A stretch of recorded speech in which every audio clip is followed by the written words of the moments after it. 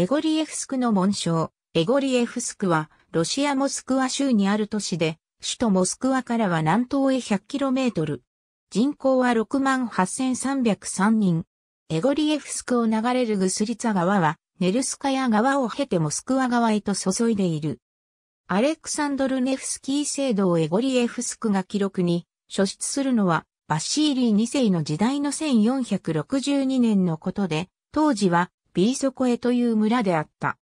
16世紀に、聖ゲオルギウス聖堂が建てられたが、ゲオルギウスという人名のロシア語での派生形の一つ、イエゴールにちなんでこの村は、イエゴーリエフスクという名で呼ばれるようになった。17世紀から18世紀にかけて、モスクワとリャザン、コロムナとウラジーミルを結ぶ街道沿いにあるエゴリエフスクは、定期市の立つ交易の町として発展した。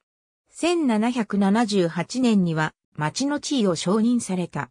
当初はエゴリエフの名で呼ばれたが後にエゴリエフスクとなった。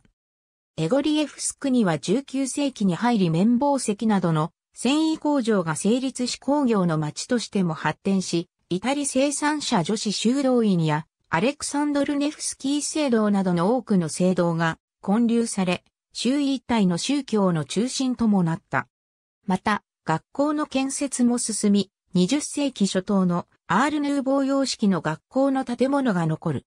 1869年には、モスクワリャ山間の鉄道上のボスクレセンスクから東のイゴリエフスクへ向かう支線が開通している。聖ゲオルギウス製銅繊維工業は今日に至るまでエゴリエフスクの重要な産業である。その他の産業には機械、家具、建材、食品などがある。近郊では臨鉱石採掘や農業も盛ん。